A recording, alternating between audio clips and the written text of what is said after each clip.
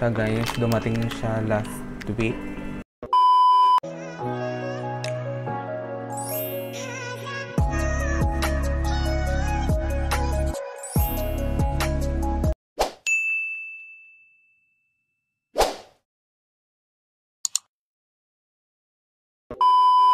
Hello mga tabed! So for today's vlog, share ko lang sa inyo yung natanggap kong blessing and hindi naman siya cash or whatsoever pero ito yung pinaka greatest gift na natanggap ko so far dahil dumating na yung aking graduation certificate and yung mga o- OTR ko, yung transcript of records ko.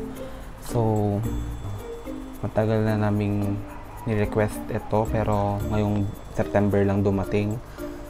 And ayun, so bubuksan na natin to guys.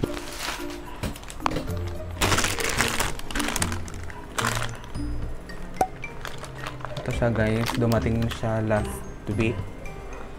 Mga September first week. Ito, tong package na to. So, ayan siya guys. And nabuksan ko na rin siya. Nabuksan ko na rin siya kasi chinek ko kung tama ba yung laman niya and luckily tama naman siya. Walang kulang, ganun. So,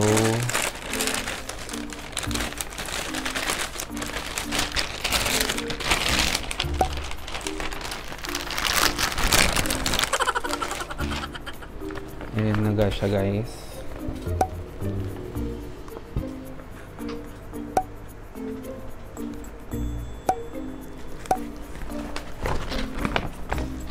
Nabuksan ko na siya guys. And ang laman ng ating package ay unahin ko muna yung mga OTR ganon. So nag-request ako ng tatlong copies ng OTR ko. Ayan siya guys. Pero wag yun ang titignan yung mga grades. Ayan. Ayan. Tatlong copies siya.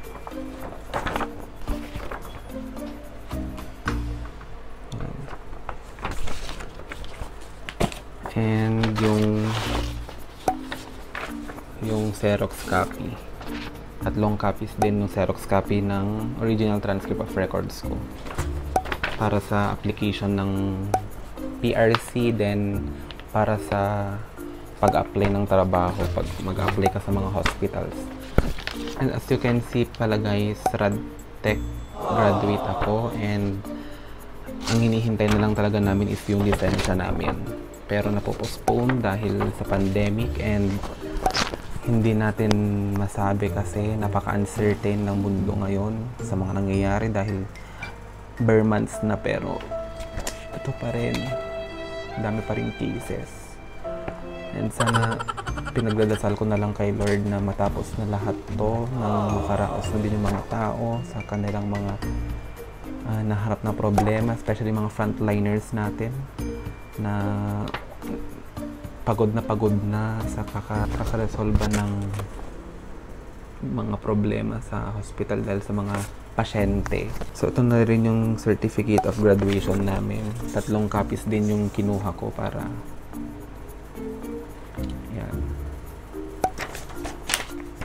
So, babasahin ko lang sa inyo guys kung ano yung mga nakasulat. So, dito sa certificate of graduation, certificate of graduation, to whom this may concern, this is to certify that Peralta Ramli Galinato graduated from St. Louis University with a degree of Bachelor of Science in Radiologic Technology under the School of Natural Sciences as of May 20, 2020. The graduate is included under the Registry Graduates Regist- Registry of Graduates.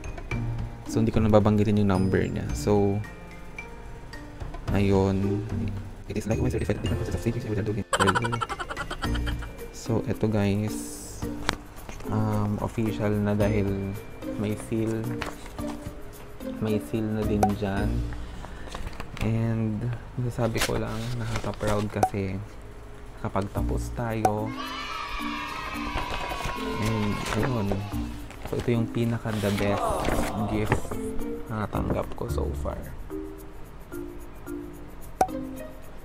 And ito lang yung isa sa pangarap ko, sa dream ko. Dahil nakikita ko to sa mga mga naka-frame na nakuan ng parents ko. And ayun, so so ang gagawin ko dito ipapa-frame ko din, papalaminate, papa-frame ganon para may, may ilalagay na din ako dito sa room ko. May ilalagay na rin ako dito so.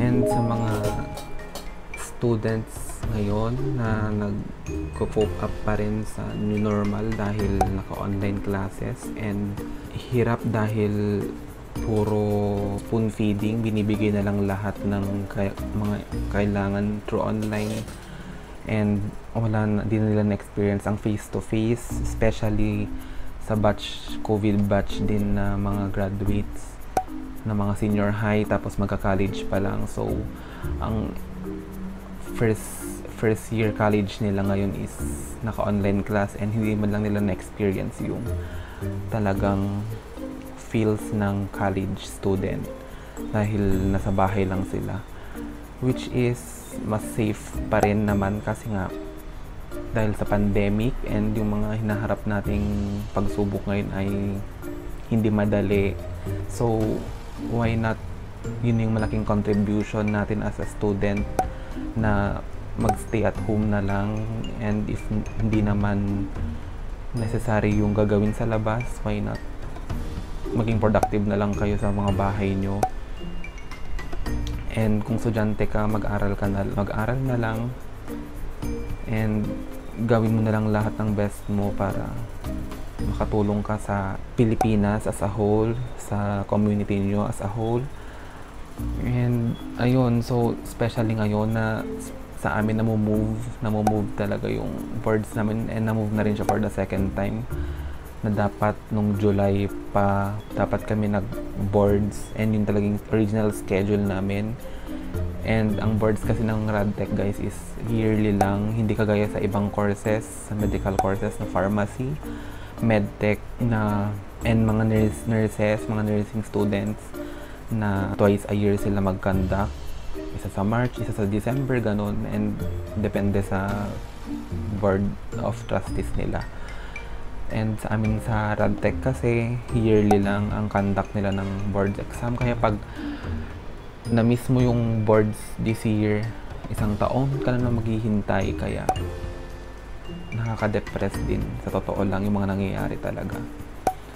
And di rin naman natin in-expect na ganito yung mangyayari sa mundo, sa bansa natin. Hindi lang naman sa bansa natin and buong mundo na affected ng COVID-19 nakakasad kasi daming namamatay, daming adjustments na nagaganap sa buong mundo.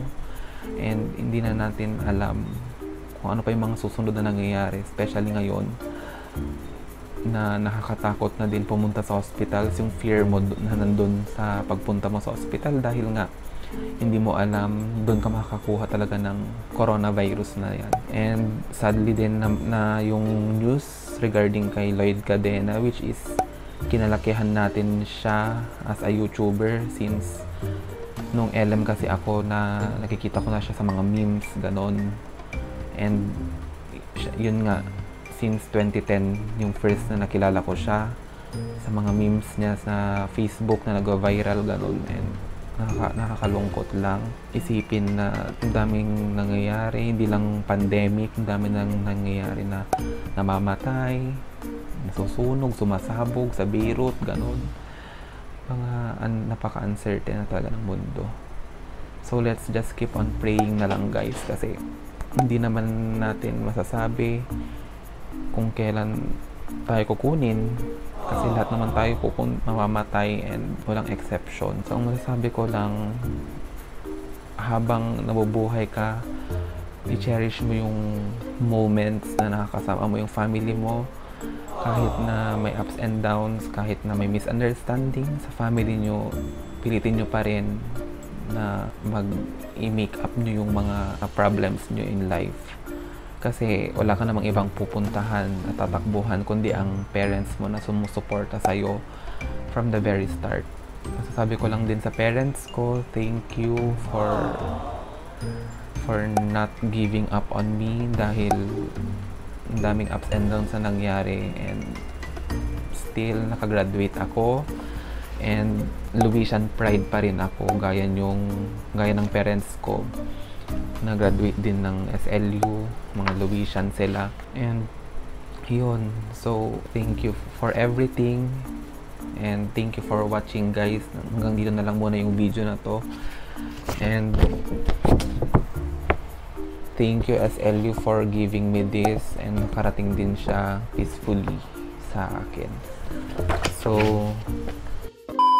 that's it for this video guys. This vlog. And dito ko na i-end thank you for watching. And kung, na, kung nag-enjoy kayo and nagustuhan nyo yung video na to i-like ninyo. And don't forget to subscribe and click the notification bell button para ma-update kayo sa aking future videos sa mga walang kwentang videos ko. And pagpasensyahan nyo na guys. Sana maintindihan nyo na nagsisimula pa lang ako ang awkward pa. And ayun. So thank you guys for watching. Till my next vlog